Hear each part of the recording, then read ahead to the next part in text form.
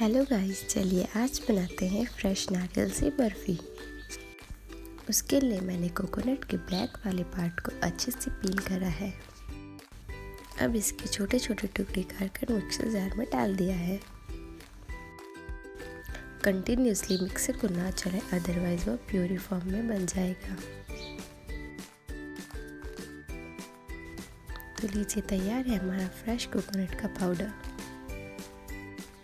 अब इसको एक प्लेट पे निकाल कर अलग रख देंगे।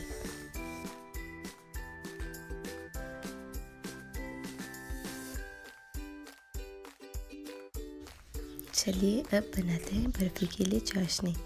चाशनी के लिए मैंने एक कप चीनी का इस्तेमाल करा है। एक कप चीनी के अंदर मैंने आधे से ज़्यादा कप पानी का इस्तेमाल करा है। अब इनको अच्छे से मिक्स करने के बाद चीनी को मेल्ट होने तक पकाएँगे। अब मैंने इसमें दो टेबल स्पून दूध का इस्तेमाल करा है और दूध मैंने रूम टेम्परेचर का ही लिया है।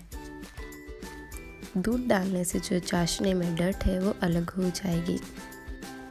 दूध डालने के बाद एक उबाल आने दे, उबाल के साथ डर्ट अलग हो जाएगी और उसको छान कर अलग कर लेंगे।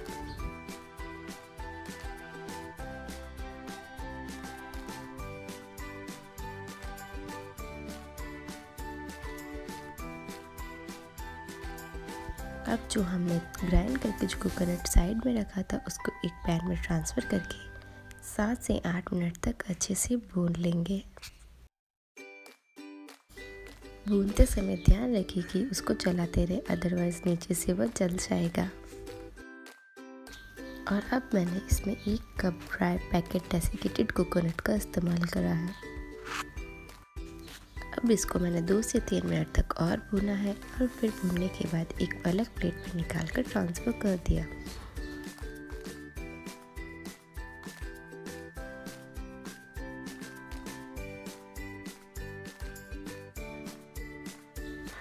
अब बर्फ़ी को रिच और मिल्की टेस्ट देने के लिए मैंने इसमें दो कप खोए का इस्तेमाल करा है।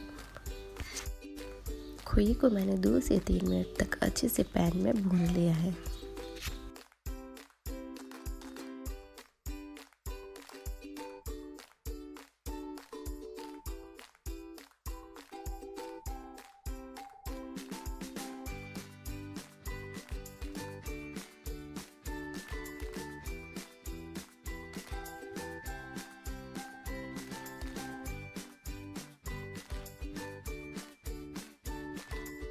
खोया भून जाने के बाद अब इसको एक अलग प्लेट में निकाल देंगे।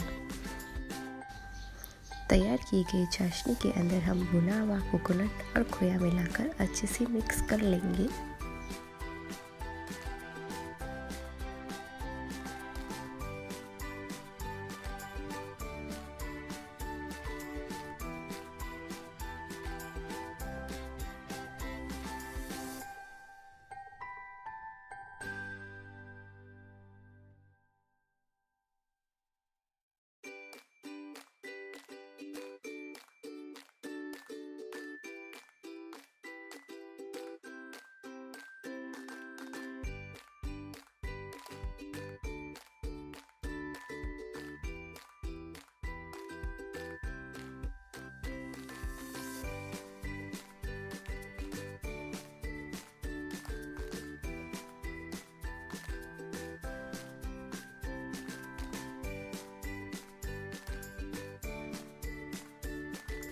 अब मैंने इसके अंदर वन फोर्थ टेबल स्पून इलायची पाउडर डाला है।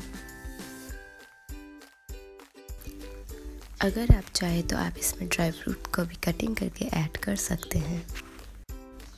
पर्सनली मुझे नारियल की बर्फ़ी में सिर्फ़ नारियल का ही टेस्ट अच्छा लगता है, इसलिए मैं इसमें कोई ड्राई फ्रूट्स ऐड नहीं कर रही हूँ। सभी को अच्छे से मिक्स करने के बाद इसको एक प्लेट में सेट होने के लिए निकाल लेंगे।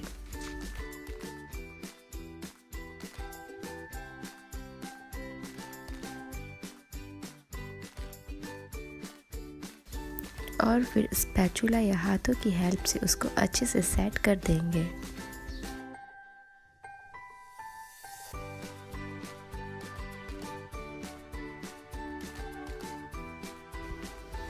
अब मैंने इसको 20 से 30 मिनट के लिए डीप फ्रीज़र में सेट होने के लिए रख दिया है, ताकि बर्फ़ी कटिंग करके एक अच्छी शेप में आए। आफ्टर 30 मिनट मैंने इसको डीप फ्रीज़र से निकाल कर अच्छे से कटिंग कर लिया है। तो लीजिए तैयार है हमारी डिलीशियस कोकोनट बर्फ़ी। आप इसे सर्व करिए और इन्जॉय करिए।